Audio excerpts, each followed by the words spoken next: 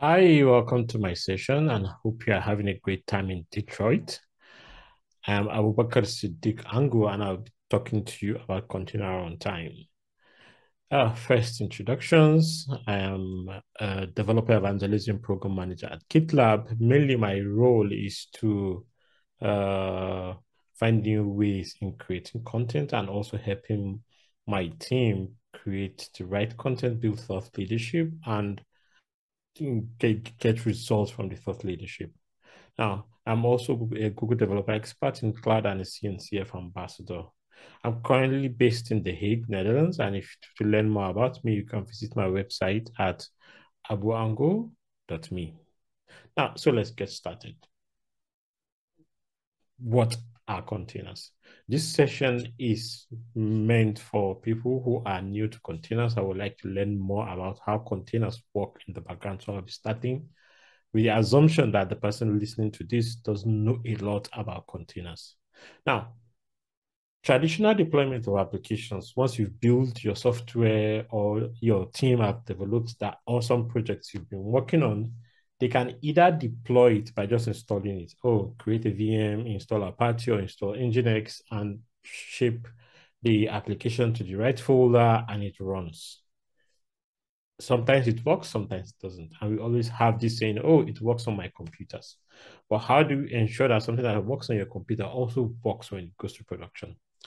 Then came virtualization. Virtualization is where there's a layer, an extra layer on top of the operating system which is the hypervisor. And the function of it is to create isolated environment, virtual machines that contain operating system, binary, and everything necessary for your application to run. But this is like a virtual machine. It's completely isolated from the host operating system, and it has to come with everything that your application needs, including operating system. Also, except that if certain configurations are made, the, the guest environment, the virtual machines do not have access to the host, and the host also does not have access to the content in the virtual machines, except if some modifications are made to it. Then we have, and this isn't always uh, the right solution to problems in organizations. That's when containers came up. Now, containers in terms of Linux have been around for some time, and there's been different ways of isolating different processes on the Linux machine so that they function without interrupting other processes or having access to resources of other processes. So now, but after so many years, containers has evolved to being able to deploy an application with all the dependencies it needs in a container while still having access to the host resources or the host resources is able the host system is able to access the resources of the container. So this happens instead of in virtualization where you have an a hypervisor or a software that manages the creation of the virtual machines.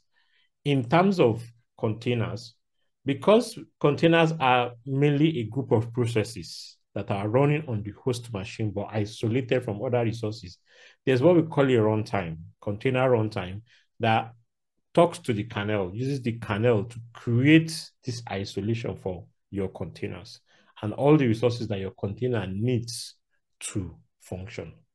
The main difference between virtualization is the virtual machines are completely isolated from the host machine for virtualization, while for containers, your containers are just a group of processes running on the host machine, but isolated from other group of processes that are running. Now, if we look basically how uh, containers are created is a client talks for most of us are used to Docker desktop, Docker CLI, where you just say, oh, Docker run Docker exe this, Docker, and so on and so forth, Docker build. Now the client communicates with your Docker client uh, application or CLI, communicates with the runtime. The runtime is the one that does all the building of the images, all the building of uh, the containers, and communicating with the uh, operating system, the kernel, to do what is required for the kernel to run. Now, when your container images are built, your client also communicates with the registry where images are stored and can be pulled from anytime they are required. Basically, an image is a specification of how your container should be built when it wants to run. Now, but how did all this container start? It has started a long time ago when uh, Linux administration have been looking for ways to isolate processes from one another. Okay, files that a certain process has access to should be isolated. The process should not be able to access other files.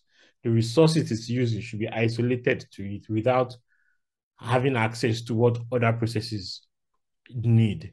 And this has evolved right from the days of FreeBSD to uh, C groups being control groups being created at Google to limit resources that processes can uh, can use on the system up till the creation of namespaces at Red Hat in 2008 to uh, IBM creating LXC. LXC was the initial kind of the OG Linux uh, container uh, initiative that was created that uses C groups namespaces to isolate uh, what a group of processes can have access to.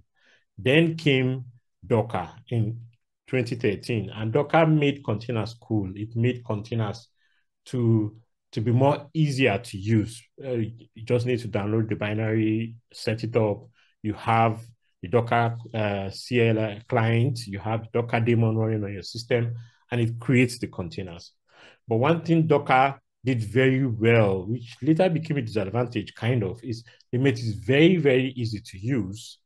That when the use of container evolved to more complex use cases like uh, container orchestration in the server environment, doing deployment at scale, it was difficult to adapt Docker to those use cases. Yeah, it's easy to use as a developer to build things, but when to automate it and add it to more complex deployments like Kubernetes, there has to be a lot of overhead in trying to make Docker work the way those platforms uh, are supposed to uh, want to use Docker.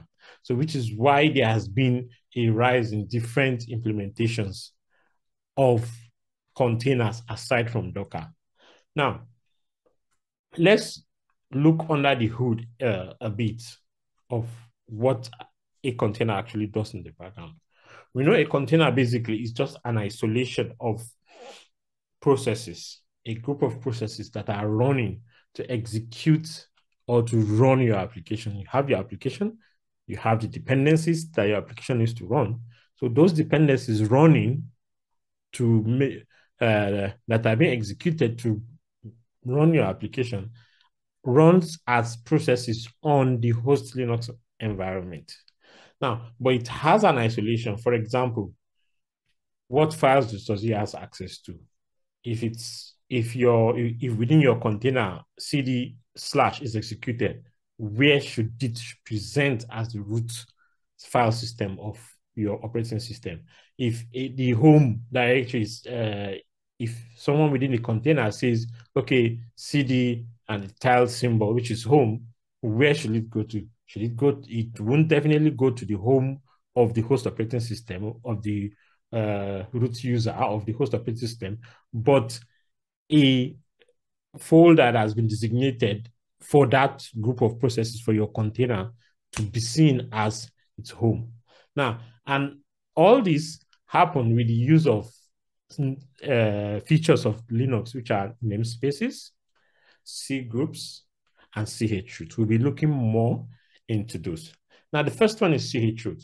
Now, when a process is running on your system, uh, on your Linux machine, CH root can limit where it accesses on your file system. Let's say, for example, in the slide image you're seeing here, we have our uh, main root directory slash, and we have home, we have me. Then within me, we create, let's say we created a folder called test. And within that test folder, we now created other system folders like bin, user, and var. Then we jail a particular process into the test directory. Now, jailing the process into that test directory is that anytime means anytime the process tries to access a root directory, it doesn't go to the parent root. It goes to its own new root, which is basically inside test, not the main root. So this is one way to make sure processes or groups of processes are limited to a particular directory or section of the file system. They won't be able to have access to other parts of the file system to make any modification. Now, this is not like the most secure thing because definitely there are ways, uh, given the right amount of uh, skill or given the right amount of uh, programming, you can you processes can definitely jump out and access the host file system. Now, here is another representation of, of it.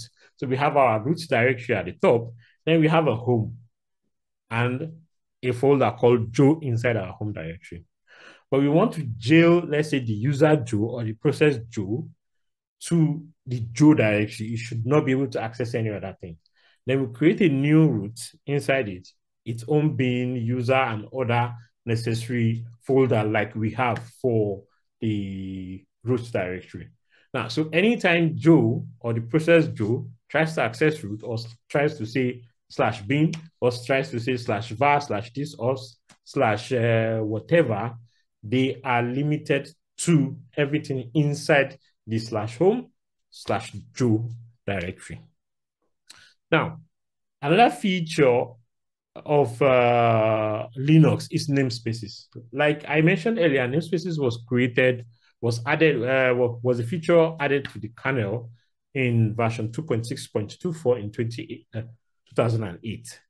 Now, what this does basically is to give your process its own system view of certain resources within the Linux environment, within your system. Okay, for example, like the PID, process ID uh, uh, like the PID namespace. When you're, we, we, we already know that PID one is the system D or the init process that is running on your system. Now, what becomes the init one of your container?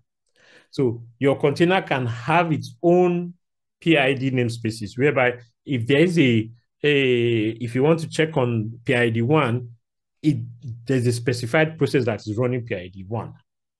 And for network resources like devices, ports, etc., there can be an isolation of, okay, this is the ETH1 or ETH0 of your container and not necessarily tied to the main ETH0 or ETH1 of the host operating system. So basically namespaces provides an isolation for your container or your group of processes to tell them that, okay, these are all the resources you have access to. And these are all the resources within your own uh, environment, like your own namespace that you can use.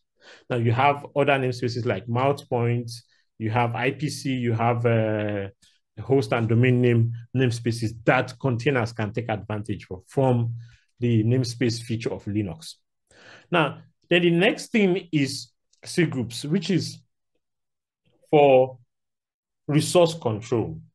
Now, we've said from the beginning, your container is basically a group of processes that are, that are executing uh, towards a common goal, maybe running your specific application. Now, your container, the process within your container can be allocated, oh, you all should share uh, one gigabyte of memory and this number of CPU. Now, the, C groups ensures that those processes stay within the limits that has been specified for them.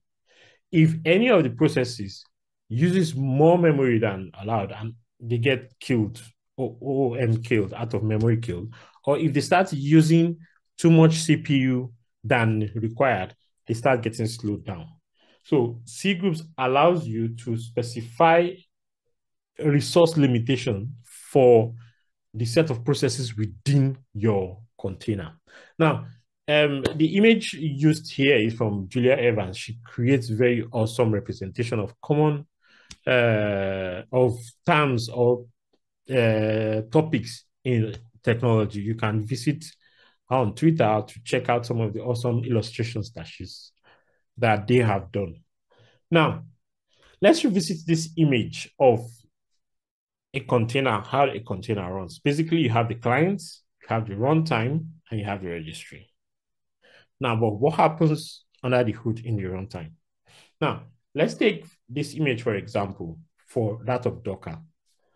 Docker, one thing Docker did uh, at some point was to look at, oh, there's a need to have a more representation within the community. And one way they can do is to give back to the community. So they decoupled the, their Docker binary into uh, containerd and runc and contributed it to the community through the Open Container Initiative.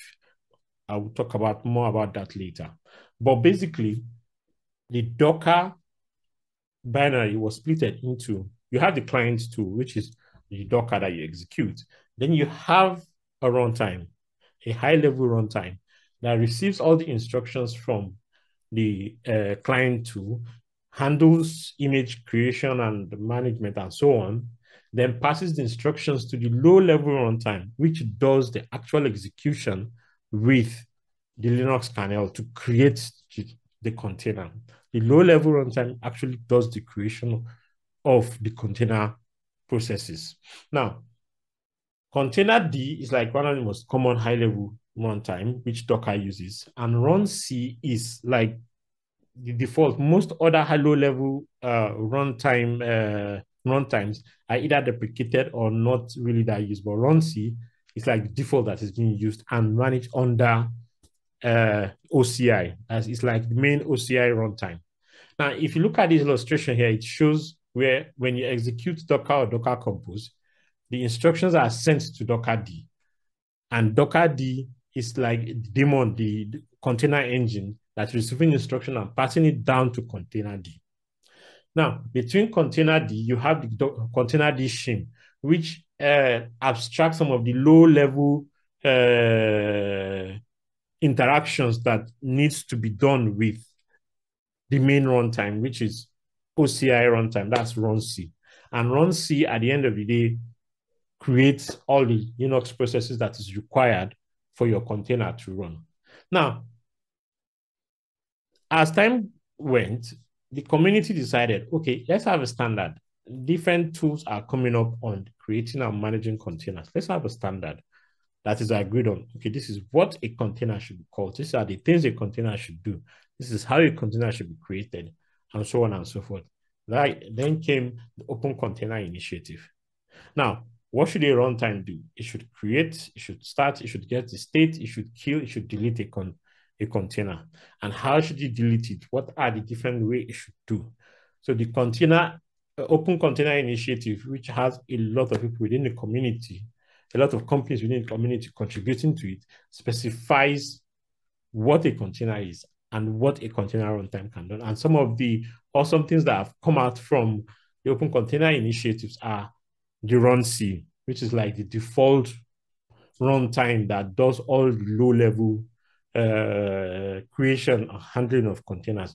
It's very hard for you to see someone using runc themselves on their system. It is usually used along with a container manager like containerd or Docker itself. Now, and this ensures having this standard ensures that containers work the same anywhere, whether on your laptop, on the server, or cloud. So there won't be, ah, it works on my system. If it works on your system, it should work anywhere else. Now, then in if we look at the CNCF landscape, there are a couple of uh, container run times that are uh, that have graduated. We have containerd, we have the CRI-O. CRI-O is the uh, Kubernetes interface that was created for runtime interface that was created for Kubernetes to ensure that it's able to communicate with different runtimes. Now we have a couple of others. I'm going to be looking at some of them, and they they create and handle containers differently. Now, the first one is containerd. Basically, it manages the complete container lifecycle of the host operating system, which includes like uh, image creation, storage, uh, supervision and execution, and everything around networking that ensures that a container works. And it does this by talking to the low level uh, runtime, container runtime, which is run C. Now, run C basically is the low level CLI tool that does all the spinning and running of the containers according to OCI specification. That is standard OCI specification for container uh, for creating containers so that if a container is created with Docker or with uh, Buildah with any runtime at all, it should work regardless at any level. Now, runC was uh, initially developed by Docker, like I mentioned earlier, but it was donated uh, to OCI as like the first runtime spec compliant. That's the OCI created like a specification, runtime specification. And this is like the first one that is compliant with the entire specification. Now, then we have CRI-O. Now, container runtime interface. Now, I don't remember the meaning of the O, but yeah, CRI-O. now, it's an implementation of the Kubernetes container runtime interface, so which enables uh, any OCI compatible runtime to be able to work with Kubernetes. So you can say, oh, I want to use container D, or I want to use this, or I want to use that with my Kubernetes cluster, or I want to use Docker.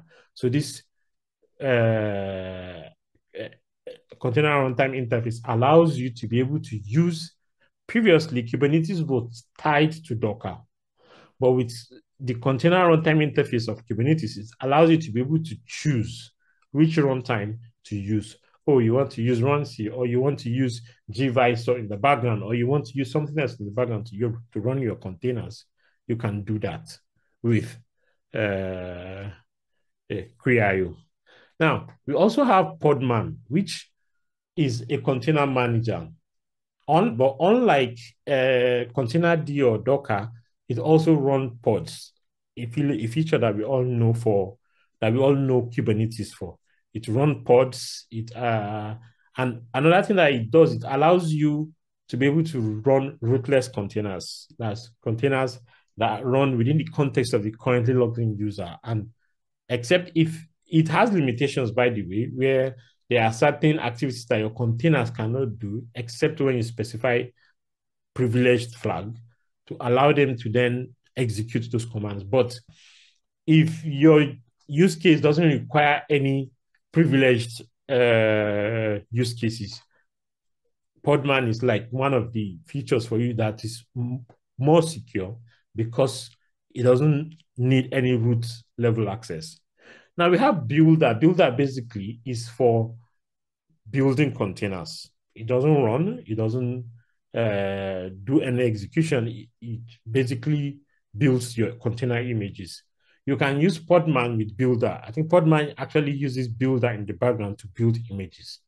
Now we have a Skopeo, which is for inspecting images and also uh, publishing your images to a container registry. Now,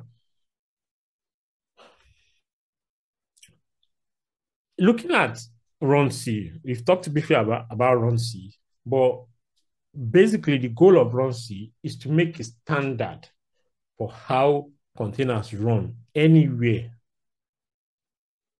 completely. And the primary features of runC is it supports a full Linux namespaces. All Linux namespaces runC support, either PID or network or mount point. It supports all of them at the low level and also supports security features like uh, SELinux, AppArmor, and so on. And because it's is uh, it's the specification for runs is governed by the Open Container Initiative, which is Linux Foundation. There's guarantee that okay, it will still be maintained. Unlike other ones like RKT and so on, which were being which were popular for some time and most of them have been deprecated. this has a lot of backing with it and it's going to be around for a long time. Now, like I mentioned earlier, it was released as part of Docker container platform, but was later spinned out. I think Docker contributed a lot to the container ecosystem. Now, then we have other runtimes that are uh, that do things a bit differently. Like we said, containers are not necessarily isolated completely from your host operating system. They are just a group of processes that are executing uh, your program, but in an isolated environment. But for security concerns, some folks have shared the concern that, okay, still yet, processes within containers can go beyond their isolation and probably wreak some havoc or escape from their isolation. So that is where sandboxed container runtimes comes in, like the gvisor or Kata. And the way it does is they use virtualization to completely isolate your containers from the host. So largely this the main reason behind this is to have improved security, especially for critical workloads where you have concerns around, oh, this should be secure, it should be complete, especially in regulated environments where security is a very, very important. But unlike simply just using virtualization, these runtimes are lightweight and have minimal resource footprint. Okay, it's not like it just goes create a virtual box machine and run your container in it. No, the implementation is much more lightweight because you need to maximize resources and also have improved performance. Now, with this, let's see a few use cases, uh, the main use cases for containers. The first one is build systems, of course. Okay, as a developer, you want to build your applications, you want to package your applications and run them. Then to run your applications, to orchestrate the containers, but most likely push it to Kubernetes containers or you uh, use Podman to run them as pods. A pod is a group of uh, containers that are running to, uh, to run a particular application. Now, and what are the main things you require build systems for? Okay, to either build your images, to run your images, and to distribute your images. But when it comes to container orchestration, the images will have already been built and they've already been distributed into a registry. So the container orchestrator basically just pulls and uses. In the case of Kubernetes, Kubelet does all that, pull the image and use the image. Now let's see an example of the flow of a build system.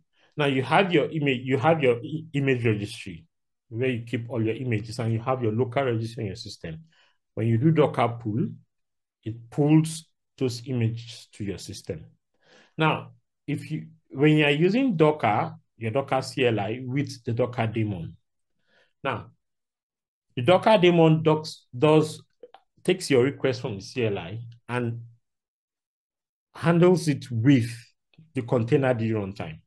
And container D runtime creates the containers with the help of runc, which talks to the Linux kernel. But Podman does things differently. Instead of having a daemon that does all the execution as a root, as, as a root user or at root level, does all the execution, creating the, the containers, etc. Podman can work rootless without privileged access. But instead of using a daemon, it creates all the containers as child processes of Podman itself. So that means your containers can run in the context of the currently logged in user instead of root. There are limitations to that. You can explore them more depending on your use case. But this makes Podman to be more secure and more accessible to use. Now, also, Podman can be a drop-in replacement for Docker. You can install your Podman and even create an alias to anytime you execute Docker, it should call the Podman uh, executable in your system. Now, Podman is part of a suite of tools, including Buildah, including uh, Skopeo and Conmon you can use all of them together. While Docker provides everything in the daemon, the daemon checks, the Docker daemon checks your container for the entire life cycle. Okay, it's running, reports back on status and everything. Podman creates the uh, works with runc to create the containers, but it uses conmon to like monitor the containers and handle any communication between the container to now tell you, okay, this container is dead or and so on. Now, then Podman uses Buildah to build and distribute images and also Skopeo to for uh, for inspecting those images. So Podman, Conmon, Buildah, and Skopeo are a suite that you can use together for your containers. Now, for container orchestration, let's say you're using Kubernetes, for example, and with your kubelet, you can decide, oh, I want to use kubelet. I want to configure my Kubernetes cluster to use containerd or to use CRI-O or to use uh, Kata or to use gvisor. Because Kubernetes has the container runtime interface, so and any OCI compliant runtime can be able can be plugged to the CRI for Kubernetes to use in running your containers. And it does that with runc, just the way Docker uses Dockerd to work with containerd to run your OCI compliant images. Now, basically, the runtime you use depends on what exactly your use case is. If you're a developer, Docker should be fine for you as long as you are within the limits of usage that Docker specified. The using Docker as a company is becoming more difficult because there are restrictions. I would advise visiting Docker's website to learn if you are able to use Docker. But if you are unable to use or you want to stick to the spirit of the community, you can choose Podman. You can even use Podman to run your uh, pods, not just containers, unlike Docker, where you cannot run a pod.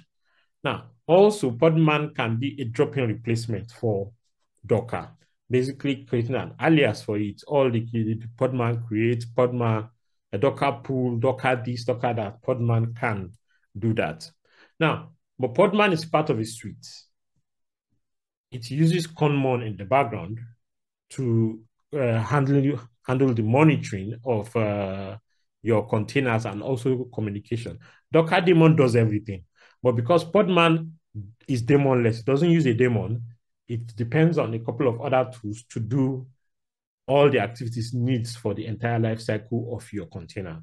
Now, do, uh, Podman also uses Buildah in the background to build your images and Skopeo for inspecting your images. So you need uh, to, to use the full suite to be able to get the full benefit of the entire life cycle. But if you work in a regulated environment or because of this some regulation or just your need, you need a more secure runtime to run your images in a completely isolated environment. Then gvisor, Kata, and Firecracker are an option you can look at. And you can uh, you can even make your Kubernetes cluster to use any of these sandbox runtimes to run your application. Now, when you are using, uh, uh, also know that if you are using Kubernetes, you can specify what, because Kubernetes, previously Kubernetes basically was tightly coupled to Docker. But after the community decoupled Docker, which, which gave, gave uh, which led to the uproar one time, ah, Kubernetes is removing Docker in etc. No, Kubernetes was not just removing Docker, but it was making it possible for different OCI compliant runtimes to be able to work with Kubernetes, including Docker. Ah, so if you want to use uh, containerd with kubelet, fine, you can set it in Kubernetes. You can check the Kubernetes documentation for how to configure different runtime for your Kubernetes cluster. Now, that's all from this session. Thank you very much for joining. If you have any questions or you want to engage with me, I will be waiting to answer some of your questions in uh, after this. But you can also reach uh, reach me at on Twitter at sarki two four seven. My website is abuango.me. Also, if you would like to give feedback about this session, uh, you can uh, scan this QR code or follow any other instructions given after this session. Thank you very much for joining me and hope to engage with you soon.